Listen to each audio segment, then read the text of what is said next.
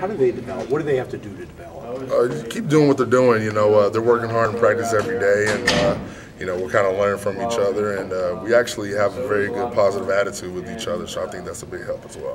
What's the hardest thing that they have to get over? The hump they have to get over when they're getting, you know, they're getting regular snaps now. And I don't know. That's a great question. Um, you know, I I feel like the hardest thing they have to do is just, you know, just actually just get in the game. You know, if you make a mistake, you know, you can't dwell on it or anything like that. You know, you just kind of keep chipping away, and uh, you know, good things are going to happen. There seems to be a lot of that in this team, where a lot of young guys and side by side out in the field with some veterans. I mean, how important is that to have that leadership kind of guiding them, taking them under their wing, and all the other cliches? You Yeah, it's um, it's a big thing, you know, because uh, you know you just got to keep on them, you know, and uh, you know you can't let them get you know lost in the moment or anything like that, or if somebody makes a mistake, you know, you can't, you know, most I feel like most young people, you know, kind of just dwell on it and stuff like that. You kind of got to move on, have a short-term memory, and uh, you know, just kind of just being there for them whenever they need anything. So I know they.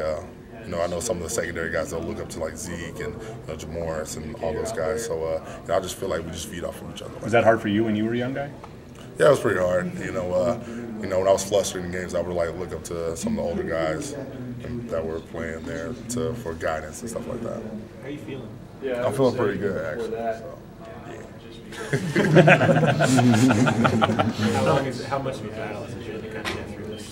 Uh, get through what? The calves. The Cow- Oh yeah, it's, it's it's been a battle. Um, you know, practicing on it, it, it hurts a lot, but uh, you know, can't let it uh, sell myself short and stuff so like that. Got to work through it. I'm getting the necessary treatment and uh, you know all that other stuff. So hopefully I'll be good for this weekend.